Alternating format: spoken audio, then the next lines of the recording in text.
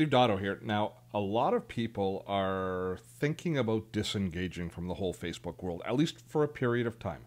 They're a little bit concerned about the amount of time they're spending, or they're concerned about privacy. They're concerned about a whole bunch of different things. But basically, they want to step away. But they're not willing to delete their account and say, I'm, I'm getting rid of everything, because you might want to come back. And typically speaking, if you've been on Facebook for any period of time, you've built up quite a volume of data within your Facebook account. You've got friends, you've got pictures, you've got comments. You might want to not want to get rid of all of that kind of stuff. So there is fortunately a way to just suspend your account, to deactivate it for a period of time, allowing you to come back and reactivate it. Now, let me show you how to do that because like everything on Facebook, it is less than intuitive.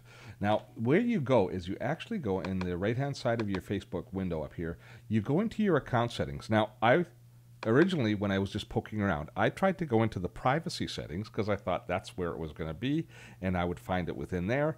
But I was wrong, and if you go there, you'll be wrong as well. Instead, you go into the account settings. There, you find a security tab over here on the left hand side.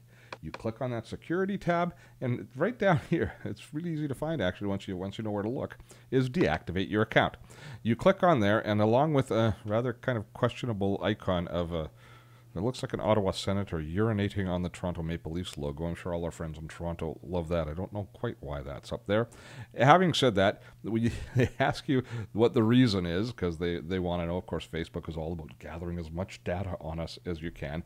So you can tell them that if you choose. And then basically, once you click on confirm here, then your account is suspended and people you're not going to be getting friend requests you're not going to be getting all that kind of stuff. People aren't going to find you when they come looking for you on facebook which is one of the biggest reasons to suspend your account. You're not too sure if you want people connecting with you.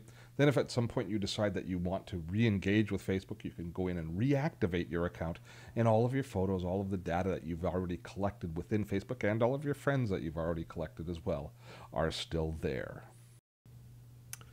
Just as a quick adjunct to the video on disabling your account on Facebook.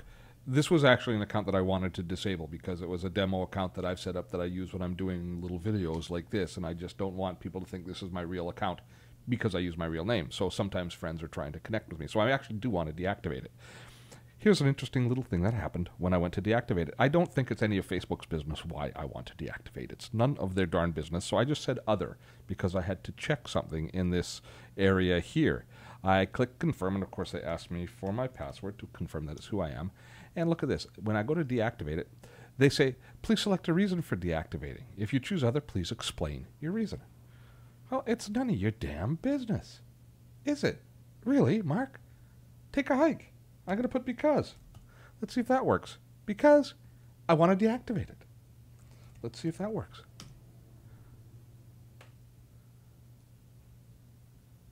Okay, security check, which is fair. I don't mind it. Although, although I do have trouble with the. Uh,